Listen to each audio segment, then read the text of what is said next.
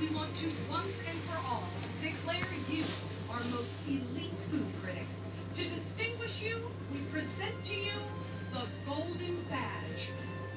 Wearing this badge means you will always get the special treatment that you deserve.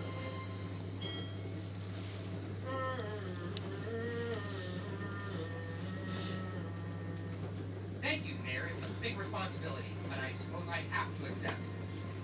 I'll my best to serve this. We know you will. Okay, the next one. Mr. Davis, you have proven yourself a leader. And for all your service to this community, we want to once and for all declare you our most elite food critic. To distinguish you, we present the Golden Badge. Wearing this badge means you will always get the special treatment you deserve.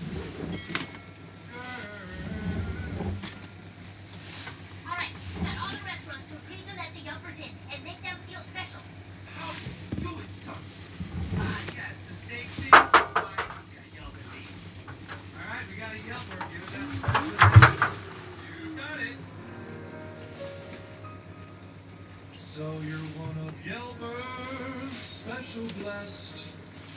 You demand a restaurant's very best. Well, they're gonna treat you special. I'm telling you, chum.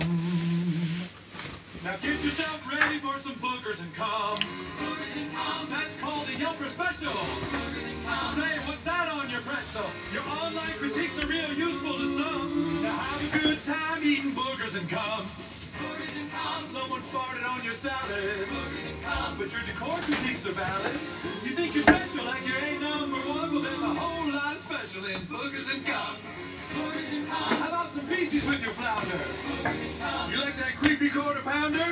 What's that spice that feels tangy on my tongue? Oh, that's a yuzu pepper along with some boogers and cum. Here you are, sir.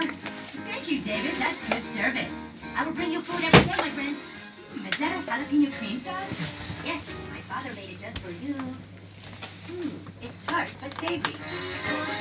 Being a food critic's easy. Oh, you feel a little queasy? Do you need a diagnosis?